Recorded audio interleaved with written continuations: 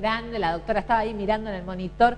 Muchísimas gracias. Nosotros acá la adoramos, la adoramos porque además sabemos que le cuesta a ella, le da vergüenza estar frente a la cámara, pero es una genia toda la información que nos da, cómo nos asesora. Así que muchísimas gracias a Sandra y a todo su staff de médicos que hoy por hoy está ampliando y siempre nos trae estos temas tan, tan interesantes. Y ahora hablando del maquillaje, en este caso no de la micropigmentación, quiero que muestren y quiero agradecerle a Mónica de Luz del Sol que me ha maquillado. Miren esta sombra que cierro los ojos así. Vos la ves así. Ay, gracias. Vos la ves así, parece que fuera una sombra. Es el trabajo de combinaciones de sombras que hay? La productora quiere, la productora quiere.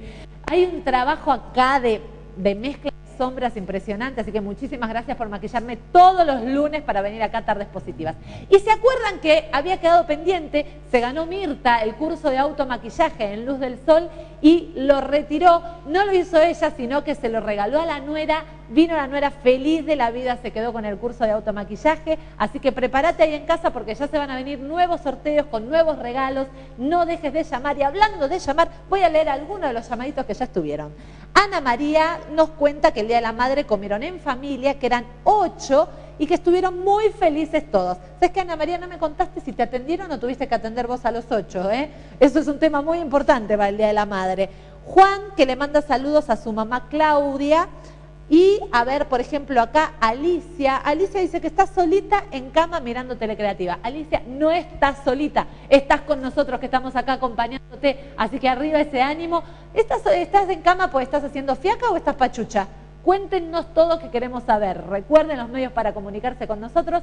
4240-5275, 4240-5347, los teléfonos para comunicarte. La página www.telecreativa.com el Twitter arroba telecreativa y el Facebook telecreativa canal. Mirá si tenés lugares para encontrarnos. No podés dejar de comunicarte con nosotros. Vamos a ir a la próxima nota del día de hoy con otro tema también muy interesante. En este caso tenemos a la doctora María Pesaresi de Psicolanús que va a hablar de cataratas. Y atentis a la nota, atentis las mamis, porque la doctora atiende chicos y adultos. Y uno a veces con los chicos se deja estar con este tema. Uno se cree que el tema de la vista te lo tenés que atender a partir de una cierta edad. No, y es muy importante la prevención. Es muy importante tener en cuenta que así como para iniciarse en el colegio a los seis años te haces un montón de estudios, está muy bueno que también se hagan todo lo que tiene que ver con la vista y que muy importante, porque a veces, no, pero yo trabajo todo el día o el nene está en el colegio, ¿cómo hacemos? La doctora atiende también los días sábados, así que no tenés excusas. Vamos a la nota, en este caso nos va a hablar acerca de la operación de cataratas. Voy a aprovechar para explicarles lo que es la cirugía de cataratas. Es una mm, especie de patología o de, alteración eh, que a lo largo de los años eh, empieza a aparecer en, en relación a la agudeza visual entre los 60 años y los 90 años la gente empieza a notar que la agudeza visual, la visión se altera y muchas veces está relacionado con la aparición de la catarata. La catarata es una, una, se denomina catarata la opacidad de una lente que tenemos adentro del ojo, que yo te voy a mostrar acá en la maquetita. Este, este es el ojito visto de afuera y este es el ojito visto de adentro. Nosotros tenemos una lente acá que se llama cristalino, que tiene que estar transparente. Como la palabra lo dice, tiene que estar cristalino. Cuando esta lente empieza a opacificarse, comienza a perder la transparencia, la visión se empieza a alterar. Por más anteojos que uno le ponga acá adelante, el problema está acá dentro del ojo. Esa opacidad del cristalino se denomina cataratas. ¿Cómo se trata la catarata, doctora?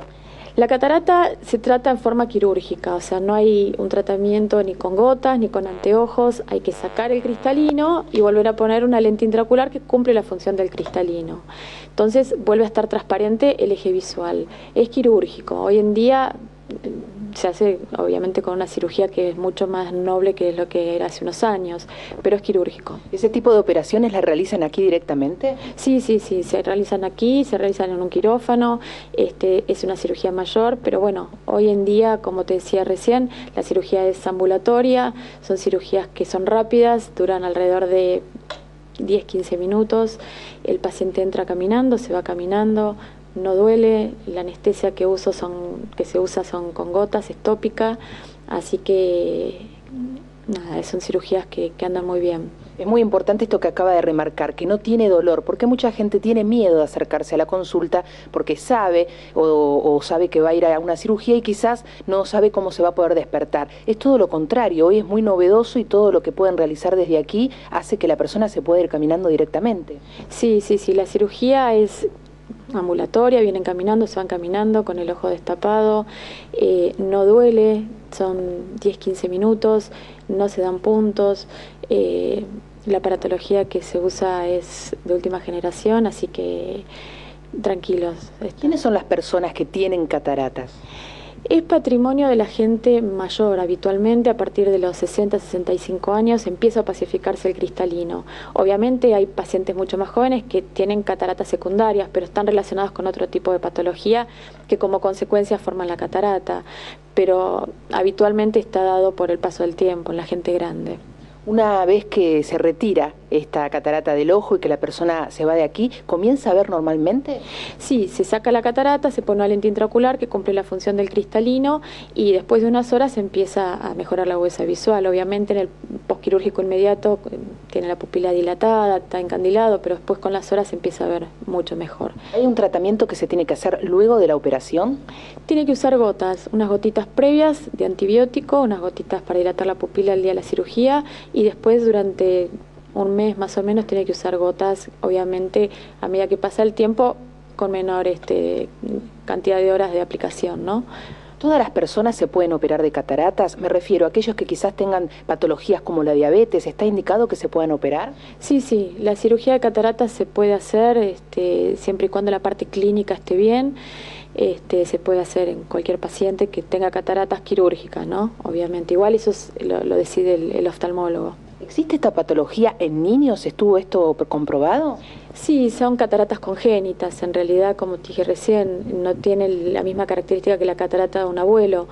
Pero hay chicos que, que nacen con cataratas congénitas que son quirúrgicas también. Hay que operarlas.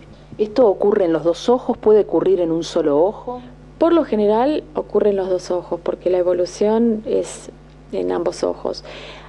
Hay ojos que están con las cataratas un poco más opacas, con el cristalino más opaco que otro, que el otro, así que bueno, se comienza con el que menor agudeza visual tiene habitualmente. La, cirugía es primero en un ojo y luego en el otro. La cirugía es primero en un ojo y después en el otro. No se operan los dos ojos juntos. ¿Ocurre que puede volver a repetirse la catarata con el paso del tiempo? No, no, no. Una vez que uno saca el cristalino, no vuelve a repetirse la catarata. No, no, para nada. Doctora, ¿podemos dar una dirección, un teléfono para que la gente se acerque y la disponibilidad, los horarios en los que ustedes están trabajando? Nosotros estamos eh, de lunes a viernes de, desde las 9 de la mañana hasta las 19 horas y los sábados estamos desde las 9 hasta las 13 horas. Así que estamos acá en Lanús, cerquita de la estación, la calle Quintana. Y bueno, cualquier consulta en lo que pueda colaborar, este, encantada.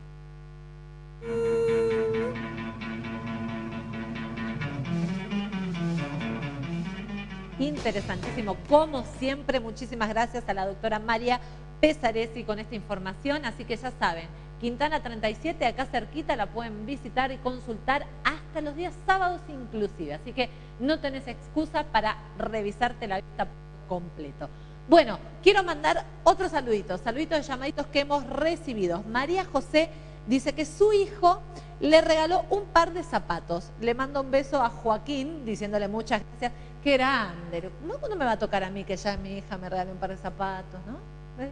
Falta, acá me hacen señas atrás de que falta. Mi pioja, que le mando un beso enorme, que, que ahí se queda siempre extrañando a su mami que viene a trabajar. no, vamos a seguir con los mensajes. Marisol manda saludos para Gaby. Gracias, Marisol. Un beso enorme para vos también. Dice que ella también se tatuó una letra china. ¿La letra de tu nombre? Viste que hay gente que se tatúa letra de pareja y después te querés matar. Claro. ¿Qué te tatuaste vos, Marisol? ¿Una letra tuya o una letra que después, no sé, la tuviste que camuflar con un delfín? No sé. Estas cosas, después le vamos a preguntar, si viene Cristian, el tatuador, si viene vamos a preguntar, ¿qué pasa con esos tatuajes en el camarógrafo? ¿Vos tenés algún tatuaje? No, nada. ¿Qué pasa con esos tatuajes que vos te pones el nombre del amor de tu vida y resulta que al otro mes no es más el amor de tu vida? ¿Qué haces con ese tatú? Qué difícil, ¿eh? Bueno, creo que tiene solución, creo que tiene solución, pero eso ya lo vamos a hablar en otro programa, en otra nota con otra gente. Marisol, muchas gracias por el mensaje. Sigan llamando, comunicándose con nosotros, dejándonos su mensaje, cómo la pasaron el Día de la Madre, con quién festejaron y si quieren mandarle un beso a alguien, háganoslo saber y nosotros se lo hacemos llegar. 4240-5275, 4240-5347, los teléfonos para comunicarte con nosotros. www.telecreativa.com, la página. El Twitter, arroba telecreativa y el Facebook, telecreativa canal. Recordá que si quieres ver alguna de las notas que hemos pasado en nuestro programa, puedes entrar en la página y arriba, en el loguito del Facebook, entras y ves todas las notas de Tardes Positiva. Las notas, los invitados, absolutamente todo. Así que no tenés excusa para estar comunicado con nosotros. Recordá también que las repeticiones de nuestro programa son los días martes de 16 a 17 horas y los domingos de 12 a 13 horas. Así que lindo para almorzar mirando tardes positivas si no lo pudiste ver en la semana. Ahora nos vamos a ir a una pausa porque en el próximo bloque bailarines acá en tardes positivas y un cierre con un temón que estamos esperando todos. Así que no te muevas de ahí que enseguida continuamos con muchísimo más tardes positivas.